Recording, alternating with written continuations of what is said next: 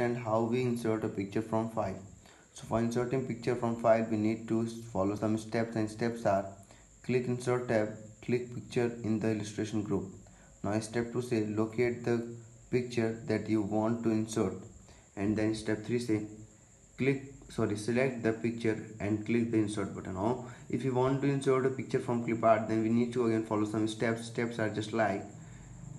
step 1 say on the insert tab in the illustration group click clip art. Now step 2 say in the clip art task pane in the search box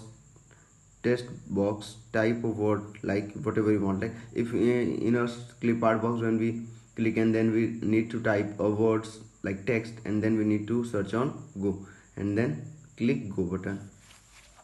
Now these are all are the things which we need to understand for inserting our picture